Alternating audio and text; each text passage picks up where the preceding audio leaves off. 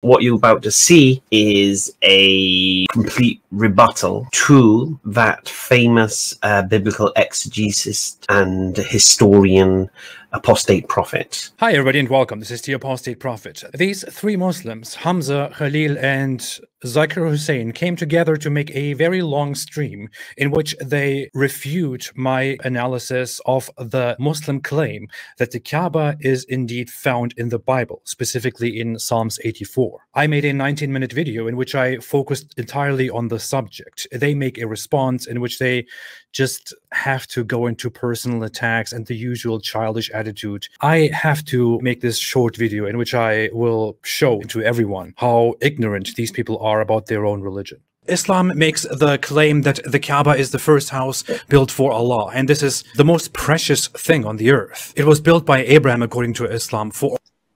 I'm just going to stop it there. Don't we believe it was built by Adam originally? Yes. Yes. It says that Abraham raised the foundations, so there yes. was something there before his time anyway. Yeah, that's what I thought. Okay. Don't we believe it was built by Adam, not Abraham? Yes, yes. I'm sorry to break it to you guys, but that's not true. I guess that's fine if you personally believe that.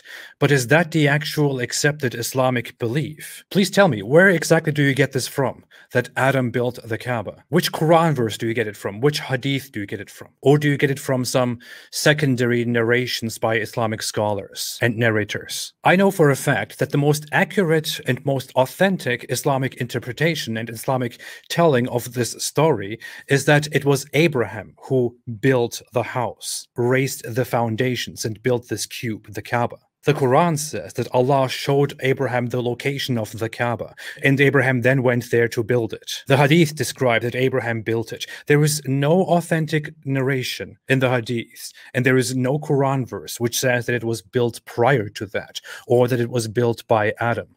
I mean, don't trust me. Go on the most authentic sources here. Let me do it for you. Just Google it, okay? Let me, let me, let me just Google it for you. First, Islam QA, which is a very radical, extremely traditionalist website. The Kaaba was not in one place and then moved. Rather, it was built in the place where it is now, and it has not been moved from that time.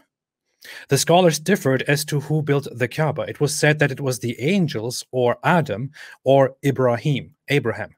The latter is the correct view. No proper source tells us about Adam building it. The next source is aboutislam.net. The question is, was it built by Adam or by Abraham and Ishmael?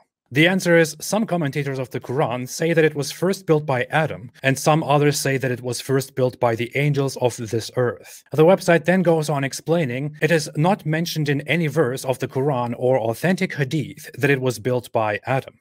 Some commentators of the Quran say that it was first built by Adam, and some others say that it was first built by the angels on this earth. When Prophet Ibrahim arrived at the place of the Kaaba, the building itself did not exist. Even the city of Mecca had no inhabitants. Allah showed Prophet Ibrahim the site of the Kaaba, and then he and his son Ismail together raised its foundations and built it from the ground up. All other sources which tell you that Adam might have built the Kaaba will only give you the explanation that this is what some people hold. This is what they say. So these three people want to correct me here at the very beginning and correct me on something that is in my opinion, so basic and which they should be aware of if they deal with these matters. When I am saying it as it really is, according to Islamic sources, whereas their response to it is merely built on unverified, unauthentic traditions, hearsay. These guys then go on for two hours insulting me, making fun of me, and saying many more ridiculous things. This is nothing, while bragging about how fantastic they are and how great their religion is.